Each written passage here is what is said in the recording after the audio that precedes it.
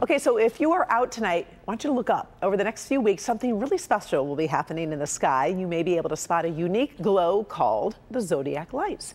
Brandon Roux joins us live from the Michigan Science Center this afternoon. So, Brandon, what should we be looking for?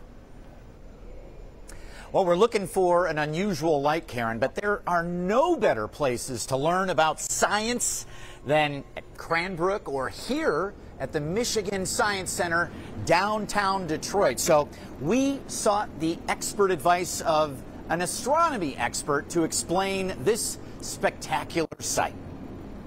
A rare sight in the skies last night, the aurora borealis or northern lights were visible even here in metro Detroit thanks to a strong geomagnetic storm.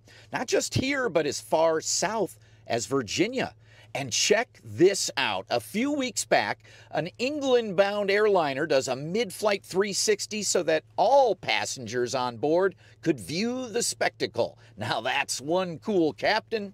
But we're talking about a different astronomical light that will soon be visible in our night skies called the zodiac light.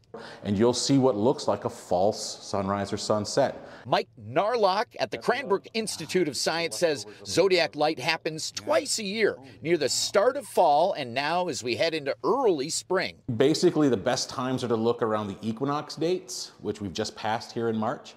Um, the closer we get to June, the less likely it's going to be. New science suggests the extended twilight visible in the western horizon about 90 minutes after sunset comes from an interaction between the Earth's eclipses and debris from Mars and Jupiter. Sunlight reflects off that dust. Um, imagine you're at home and you see a shaft of light coming in from the sun and you look and you see all those little particles of, uh, in, in, your air that you're breathing, little bits of dander, little, that's sort of the same thing that's going on here. Over the next several weeks, you'll be able to see this light return from the darkness near the zodiac constellation west. Just don't expect that you'll be able to stare out your window and see it we suggest you go about 20 miles away from the nearest city. You're going to get pretty dark skies. Dark sky parks and preserves are scattered across pure Michigan, as nearby as the thumb for best viewing. But Mike says just get as far enough away from the city lights as possible. Absolutely. You get in a dark enough sky and you can see this with your unaided eye.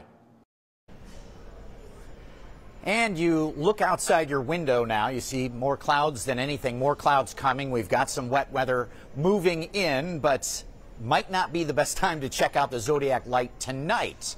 However, if you head up to the thumb, there is a dark sky preserve there, the closest dark sky park, southwestern lower Michigan. It's a good two and a half, three hours away. But Karen, something we can look forward to in these boring spring early summer nights, perhaps, over the next several weeks. Live yeah. at the Michigan Science Center, I'm Brandon Roux. Back to you. Pretty cool stuff. We appreciate it. Thank you, Brandon.